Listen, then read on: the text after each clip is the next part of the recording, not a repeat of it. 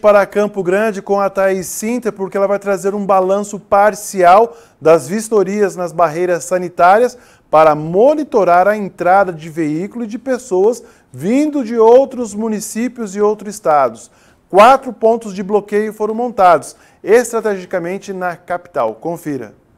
Barreiras sanitárias instaladas nas saídas de Campo Grande já vistoriaram cerca de 6.521 veículos desde a última quinta-feira, quando os bloqueios foram montados pela Prefeitura aqui de Campo Grande, nas saídas de Cuiabá, Três Lagoas, Cidrolândia e São Paulo. Conforme a Prefeitura, 12 pessoas já foram detectadas, na verdade, essas 12 pessoas apresentaram sintomas da Covid-19 e foram encaminhadas para unidades de saúde e hospitais para realizar o exame para detectar a Covid-19, que é o RT-PCR ou então o exame de teste rápido.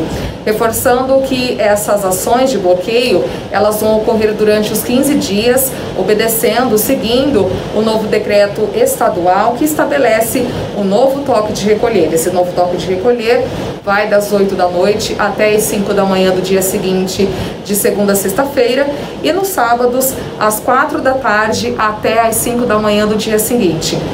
Lembrando também, reforçando essas informações, que as pessoas que chegam do interior do estado ou de outros municípios, de outros estados, elas vão passar por essa barreira para que a prefeitura tenha mais controle né, e também consiga evitar a disseminação do novo coronavírus.